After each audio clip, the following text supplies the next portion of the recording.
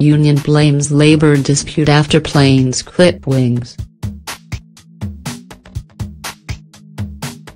There were no injuries after two passenger airplanes clipped wings at Toronto's Pearson International Airport but questions are being raised about whether a labor dispute contributed to the incident. An outbound LOT Polish Airlines plane and an inbound Air Canada flight touched wings at the gate around 10.20 pm on Saturday, according to according to Peel Regional Police. The Air Canada Rouge flight had arrived from Punta Cana, Dominican Republic and was parking when the incident occurred. The Transportation Safety Board is still investigating and a representative told CP24 that it could be a few days before they determine the next steps. Police say no charges were laid. A representative for the Teamsters Local 419 union that represents the grounds crew and baggage handlers at the airport says the ongoing strike by Swissport International Limited employees may have played a role. Harjinder Badial, Vice President of Teamsters Local 419, told CP24 that since the strike began, many temporary workers have been hired to fill unionized jobs, including the wing walker position. Wing walkers are in charge of watching for when the wings of the aircraft are moving. We know the company has been hiring more temp workers, giving them two hours of training and putting them on live flights, said Badial. If they were trained properly this hopefully wouldn't have occurred.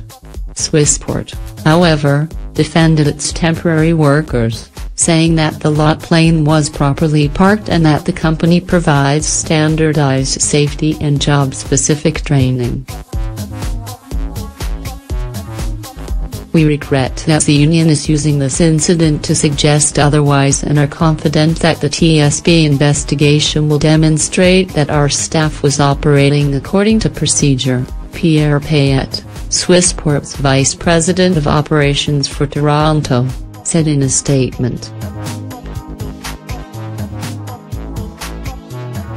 Passengers described a hectic scene. We just saw firefighters rushing in and they told us to go back to the check-in area and then there was chaos for like a good two hours, LOT passenger Reza Haidizi told CTV Toronto.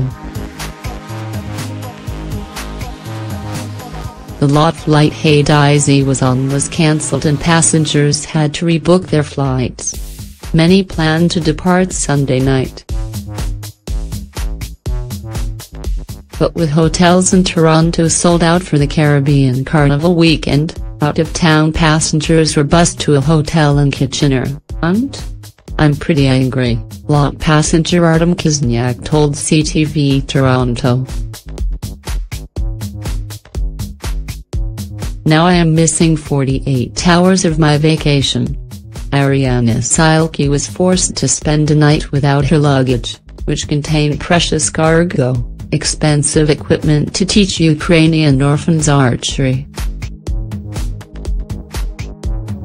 It was shocking, I didn't think that could happen, Silke said in an interview with CTV Toronto. I'm tired, but I'm excited for tonight's departure, with wings. With files from CTV Toronto, CP24 and the Canadian Press. Photos of viewers submitted this photo of two planes clipping wings at Pearson Airport on Saturday. Photo submitted by Kapilan Kailanathan slash CP24. lifetime in repeat.